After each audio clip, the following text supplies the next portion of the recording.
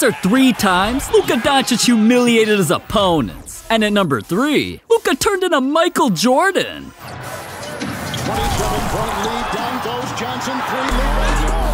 Oh no. They're shredding him. Oh, now I see why the Suns need KD. But at number two, Luka hit a dude from the back? Dinwiddie missed it. Mm-hmm. Oh, Doncic!